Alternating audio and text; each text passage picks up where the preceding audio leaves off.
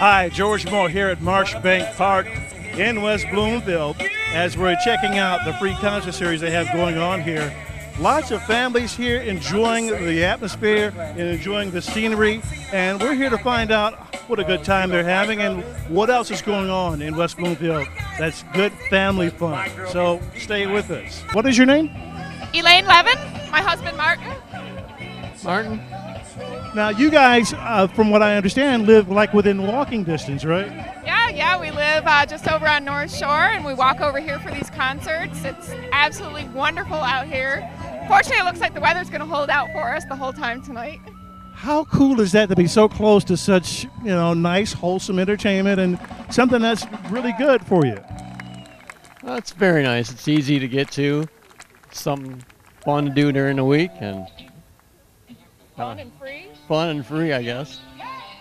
What would you guys tell somebody from not in this area about this area that will be real positive, really good?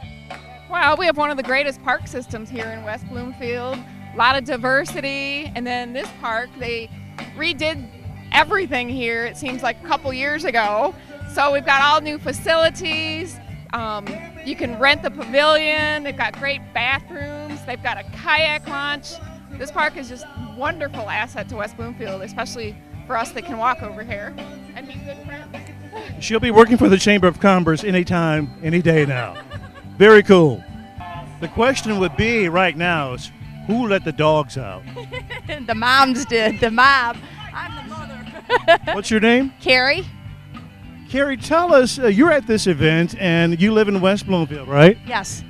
Tell us about what goes on in West Bloomfield and how it is for folks to enjoy things, particularly at this time of the year in the summer and, you know, all year round, actually. Um, I live a mile and a half from here. Um, I oftentimes walk my dogs up here through the park. Uh, the revamping of this park was done quite beautifully, and I thoroughly enjoy it. And um, the West Bloomfield Parks and Recreations have wonderful trails that I've been able to enjoy. Uh, today, we uh, actually go to the dog park very frequently, and uh, I have a community garden as well. So, and uh, we do the trails on the West Bloomfield, uh, um, the network, the, the, the Rails to Trail system. So it's easy for community involvement for everybody in the area. It is. It's, it's a very easy, accessible. Uh, you know, the the drive is reasonable. Um, the only thing I would like to say is uh, they need to increase the bike-friendly pathways for the sidewalks and whatnot. And I think there is some plans in the works for the city to do that. And more dog trails, right?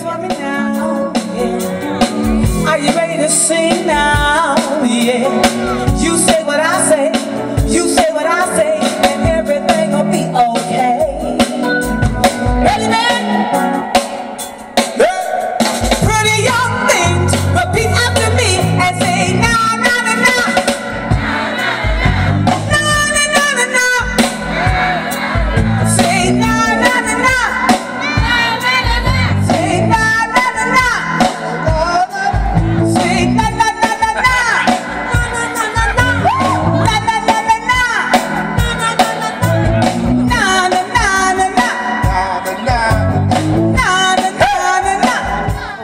Put on such a great show, interacting with the crowd and all, and just really making everybody feel warm and welcome and entertained. So uh, that's something, of course, that you just comes naturally, right? Definitely, I'm naturally an entertainer. Actually, I'm with a very great band, and we've done many um, of the community uh, concerts this year.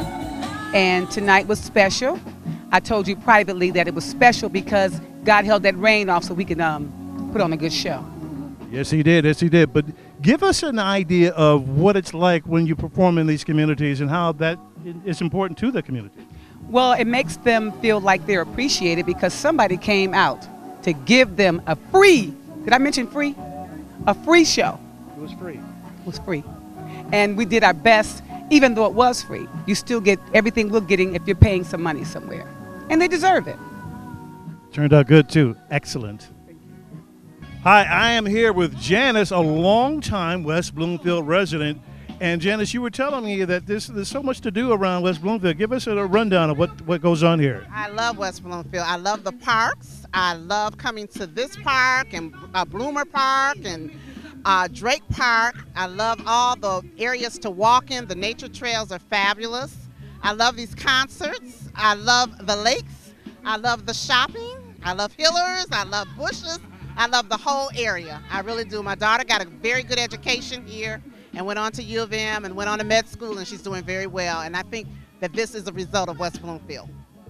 These are things that, of course, people are looking for uh, around the area. So, what would you tell someone coming and looking around for some place to live about West Bloomfield? Uh, you couldn't have a better community, very diverse, uh, very energetic, um, a blend of very good places to shop, as well as parks, as well as recreational activities.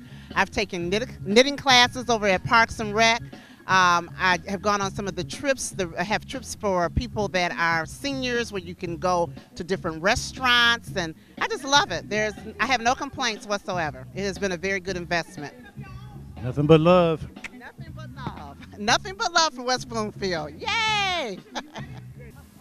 Had a great time out here with the concert and the folks behind us enjoying it here at Marshbank Park. And all the time we were out here, I never found out why they call it Marshbank Park.